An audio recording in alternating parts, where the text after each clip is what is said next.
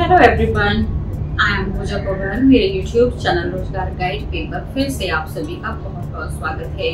दोस्तों, आज मैं आपके सामने फिर से लेटेस्ट वैकेंसी लेकर आई हूँ जो कि NMC India limited government of India enterprises की नौरत्न कंपनी है। वहाँ से वैकेंसी आउट की गई है। कौन कौन सी पोस्ट पर वैकेंसी आउट की गई है number of vacancy category wise क्या रहने वाली है? एलिजिबिलिटी क्या मांगी गई है? कौन से ग्रुप के लोग अप्लाई कर सकते हैं? लास्ट डेट क्या रहने वाली है? सैलरी क्या मिलने वाली है? अप्लाई कैसे करना है? सिलेक्शन प्रोसीजर कैसा रहने वाला है? इन सारी चीज़ों के बारे में डिटेल में वन बाय वन डिस्कस करेंगे। वीडियो शुरू करने से पहले अगर आप मेरे चैनल पर फ़र्स्ट टाइम है तो चैनल को सब्सक्राइब कर लें ताकि हर आने वाली नोटिफिकेशन आप टाइमली पहुँच जाए फ्रेंड्स इस वैकेंसी से संबंधित लिंक इस वीडियो के डिस्क्रिप्शन में दिया गया है। जैसे ही आप लिंक पर क्लिक करेंगे, आपके सामने एनएलसी इंडिया लिमिटेड की वेबसाइट ओपन होकर आ जाएगी, जहाँ पर आपको होम पेज पर ही करियर में क्लिक करने के बाद वैकेंसी से संबंधित डिटेल्स मिल जाएँगी। जैसा कि आप देख रहे हैं करंट ओपनिंग्स में ही recruitment of executive in finance and company secretary discipline में है। सत्रह जून 2022 को जारी किया गया डिटेल एडवर्टाइजमेंट है। Advertisement number zero four two thousand twenty two है।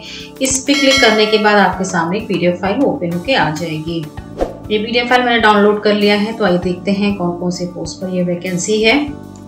सबसे पहले हम देख लेते हैं पोस्ट से डिप्टी जनरल मैनेजर फिनांस में है। ई सेवन ग्रेड की वैकेंसी है नंबर ऑफ़ वैकेंसी यहाँ पर एट है। अदर भी आपका चीफ मैनेजर फिनांस में है ई सिक्स ग्रेड की वैकेंसी है नंबर ऑफ़ वैकेंसी यहाँ पर टेन है। नेक्स्ट पोस्ट आपका एडिशनल चीफ मैनेजर फिनांस में है ई सिक्स ग्रेड की वैकेंसी नंबर ऑफ़ वैकेंसी यहाँ पर फिफ्टीन है। एंड कैटेगरी वाइज ब्रेकअप भी यहाँ पर दिया गया है, जिससे आप देख सकते हैं। एजुकेशन क्वालिफिकेशन की अगर बात करें तो यहाँ पर फाइनल एग्जामिनेशन क्वालिफाई होना चाहिए चार्टर्ड अकाउंटेंट्स ऑफ़ इंडिया यानी सी का, या आई सी डब्ल्यू ए आई या आई सी एम ए आई आपको क्वालिफाई होना चाहिए। साथ ही या अगर आपके पास ग्रेजुएशन किसी भी डिसिप्लिन में है एन एम बी आपके पास फिनांस में है तो भी आप यहाँ पर अप्लाई कर सकते हैं। एक्सपीरियंस देख लेते हैं, यहाँ पर आपका डीजीएम के लिए नाइनटीन ईयर का एक्सपीरियंस मांगा गया है। ये पोस्ट क्वालिफिकेशन एक्सपीरियंस है। चीफ मैनेजर के लिए 16 ईयर का पोस्ट क्वालिफिकेशन एक्सपीरियंस है, जबकि एडिशनल चीफ मैनेजर के लिए यहाँ पर 13 ईयर का एक्सपीरियंस मांगा गया है। एंड आपका जो पोस्ट क्वालिफिकेशन एक्सपीरियंस होना चाहिए, वो accounting finalisation of accounts audit taxation fund management costing and budgeting commercial regulatory affairs mining and power business में आपका ये एक्सपीरियंस होना चाहिए।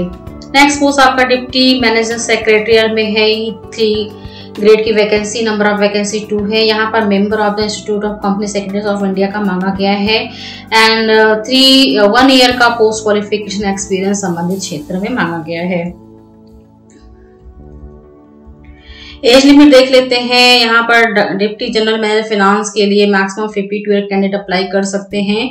चीफ मैनेजर फिनांस में 50 ईयर है। एडिशनल चीफ मैनेजर के लिए मैक्सिमम 47 ईयर कैंडिडेट अप्लाई कर सकते हैं। इन तीनों पोस्ट के लिए O B C S C S T के लिए इस रिलैक्सेशन एज पर गवर्नमेंट ऑफ़ इंडिया रूल्स के हिसाब से ही फॉलो होगा।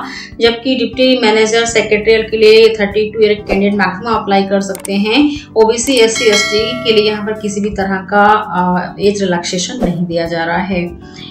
पे स्केल सी सीटीसी इमीडिएट लोअर स्केल्स देख लेते हैं क्या है। डिप्टी जनरल मैनेजर फाइनेंस में आपको यहाँ पर चौबीस दशमलव चौरासी लाख सी सीटीसी रेंज में पर एनम यहाँ पर आपको सैलरी मिलने वाली है, जो कि आईटी पैटर्न में होगा। चीफ मैनेजर फाइनेंस के लिए and chief manager additional chief manager finance में आपकी सैलरी लेवल सेम है। बाईस दशमलव तीन लाख पर एनम है, जबकि डिप्टी जनरल मैनेजर सेक्रेटरी के लिए चौदह दशमलव अड़सठ लाख पर एनम आपको यहाँ पर सैलरी मिलने वाली है। एंड यहाँ पर जो भी कैंडिडेट सेलेक्ट होते हैं, उन्हें वन ईयर के प्रोविज़न पीरियड से ही गुजरना होगा। प्लेस ऑफ़ पोस्टिंग की बात करें तो यहाँ एनएलसी इंडिया की जो भी ज्वाइंट वेंचर कंपनी है एसोसिएट सब्सिडरी कंपनी है डिफरेंट स्टेट्स में है यूनियन टेरिटरी स्टेट्स में है तो आपका पोस्टिंग उसी प्लेस पर होगी। जबकि यहाँ पर रिजर्वेशन रिजर्वेशन रिलैक्सिंग आपका गवर्नमेंट ऑफ़ इंडिया रूल्स के हिसाब से यहाँ पर फॉलो होने वाला है। मेथड ऑफ़ सिलेक्शन की बात कर लेते हैं यहाँ पर यहाँ पर पर्सनल इंटरव्यू के थ्रू सिलेक्शन होने वाला है। अनरिजर्व ओबीसी कैटेगरी के लिए ईडब्ल्यूएस e कैटेगरी के लिए यहाँ पर 50 परसेंट मार्क्स ज़रूरी तभी आप इंटरव्यू को क्वालिफाई कर सकते हैं। अप्लाई कैसे करना है? अप्लाई आपको ऑनलाइन करना है। ऑनलाइन अप्लाई करने का लिंक वेबसाइट पर दिया गया है। एप्लीकेशन फ़ीस देख लेते हैं। Under D W S OBC NCL candidate के लिए आठ सौ चौवन यहाँ पर आपकी अप्लाई फ़ीस है। S C S T P W D ex serviceman के लिए यहाँ पर तीन सौ चौवन रुपये आपकी अप्लाई फ़ीस रखी गई है।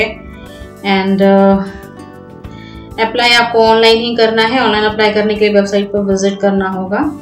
जैसा कि आप देख रहे हैं, यहाँ पर अप्लाई ऑनलाइन का लिंक दिया गया है, इस पर क्लिक करेंगे, एक वीडियो फ़ाइल एक इंटरफेस आपके सामने ओपन होके आ जाएगी। तो सबसे पहले आपको रजिस्ट्रेशन करना होगा, जिसमें आपको name age a record email ID mobile number and इस क्वेश्चन का आंसर देने के बाद आपका रजिस्ट्रेशन कंप्लीट हो जाएगा। इस तरह से एडजस्टिंग यूज़र लॉगिन के बाद आपको लॉग लॉगिन आईडी यहाँ पर डालनी होगी पासवर्ड डालना होगा देन आप आपका लॉगिन करेंगे देन फॉर्म को स्टेप बाय स्टेप फिल के आप उसे सबमिट कर सकते हैं। एंड यहाँ पर 8 जुलाई 2022 ऑनलाइन अप्लाई करने की लास्ट डेट है। वीडियो को लाइक करके आप इसे अपना प्यार दे सकते हैं। ज़्यादा से ज़्यादा शेयर करें ताकि जिसको इसकी ज़रूरत है, उसको इसका बेनिफिट मिल सके। Thank you